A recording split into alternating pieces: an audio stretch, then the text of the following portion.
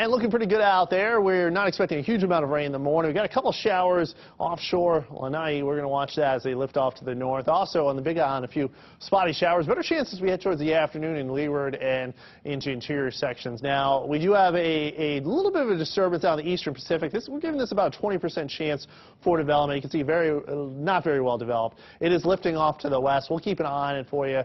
Right now, chances of it affecting the islands very low. Let's take a look at the forecast.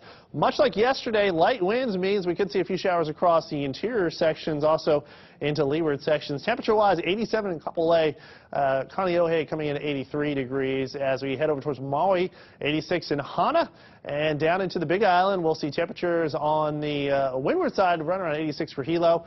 Kailua Kona coming in at 88 degrees. Uh, forecast as we head through the uh, surf uh, forecast, we're looking at 3 to 5 for south and north swell building today, especially late. By late, we could be up to 5 to 7, so certainly up to 5, maybe up to 7 in some locations on north shores. Northwest swell today, small, moderate to, to moderate south swell as we head towards Saturday into Sunday. So surfers this uh, holiday weekend, you're going to be pretty excited, I think, about town swell moving on in. 4th of July, winds picking up a bit, but still relatively light. We'll call the trades about 5 to 10, maybe up to 15 uh, late on Saturday and into Sunday. So trades attempting to return. They'll take a while to get here.